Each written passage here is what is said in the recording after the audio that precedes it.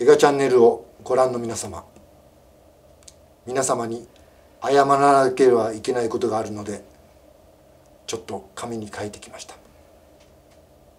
それを読みます。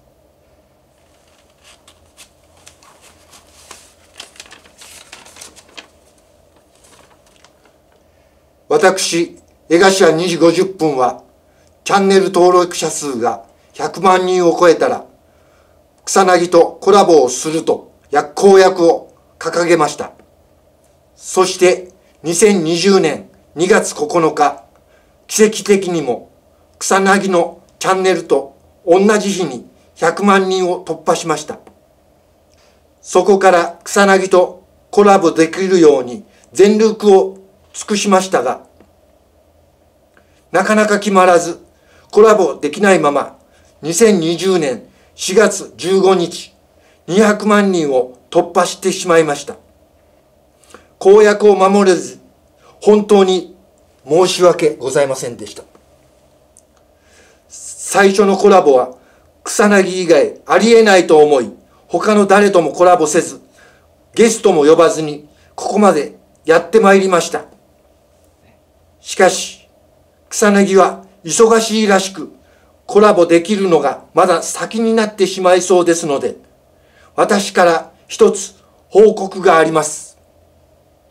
一部ネットでは記事になっておりますがチャンネル登録者数200万人を機にコラボそしてゲストを解禁じゃよっしゃー!解禁解禁解禁解禁解禁解禁解禁解禁解禁解禁解禁解禁解禁たまる解禁たまるすいません。取り乱しました。で柏さん、うん。あの、まあ、コラボとか、うん。まあ、ゲストを呼んでいくとおっしゃってましたが、うん。なんかどのような方をお呼びしたいとかってありますか？爆乳。そういう基準とかではなくてですね。こういう人呼びたいなとか具体的な人います？出川さん。おおー。いいですね。あとちょっと問題を起こしたけど岡村隆。史ああ岡村さんってまああの後何か連絡とか取ったりとかしたんですか？いやしてないんだよ。あそうなんですね、うん。よし分かった。じゃあ岡村。一緒に土下座するぜ。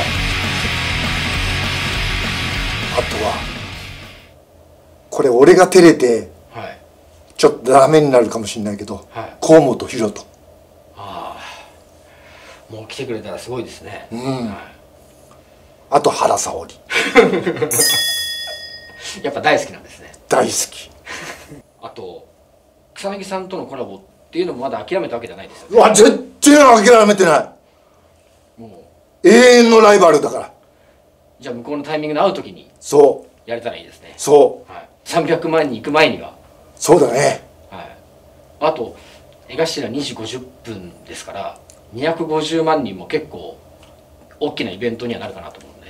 そうだね。その250万人っていうのはファンも期待してるだろうね。そこはなんかまあそこまでにまあコロナも落ち着いてなんか派手にできるといいですね。そうだね。はい。まあ皆さんが喜んでもらえるようなことができればと。よし。はい。そう。ということでみんな。そういうことでごめんね